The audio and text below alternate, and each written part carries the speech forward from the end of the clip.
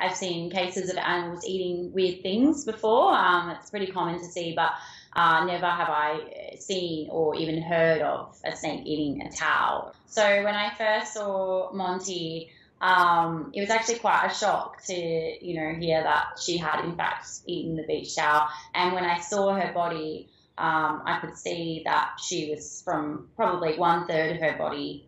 Her abdomen was quite swollen and firm, so I could actually feel that there was something lodged in there. We basically anaesthetized Monty, um, put her under the anesthetic. We took some x-rays to kind of mark out exactly where the towel was um, so we could work out how far from the head the towel was. Um, and then what we did is we saw if we had any forceps that would be long enough to reach that point because it's about a meter, it's pretty long.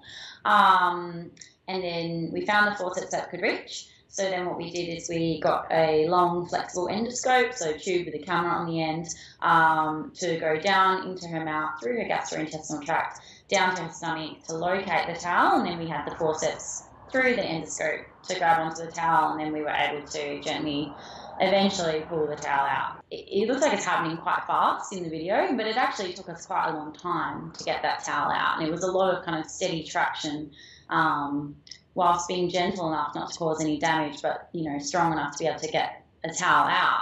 Um, I think it took us about half an hour, really, to get that towel out, so it took quite a while. We all cheered at the end. We were all really happy. Um, it was, yeah, it was an amazing feeling because, you know, you don't go to work thinking that, okay, today I'm going to pull an entire beach towel out of an animal's stomach.